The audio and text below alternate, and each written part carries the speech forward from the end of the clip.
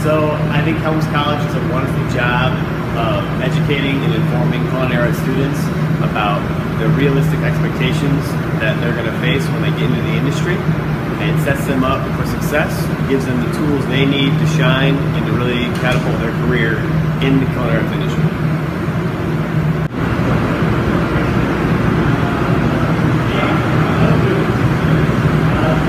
It's a industry, and it takes more than just knowing how to do it.